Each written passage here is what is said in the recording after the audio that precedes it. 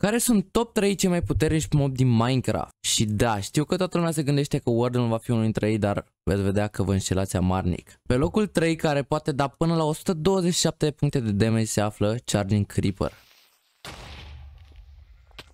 Pe locul 2 se află chiar Ender Dragonul, care poate da cu Fireball-ul până la 180 de puncte de damage over time, aproximativ în 30 de secunde, ceea ce este insane.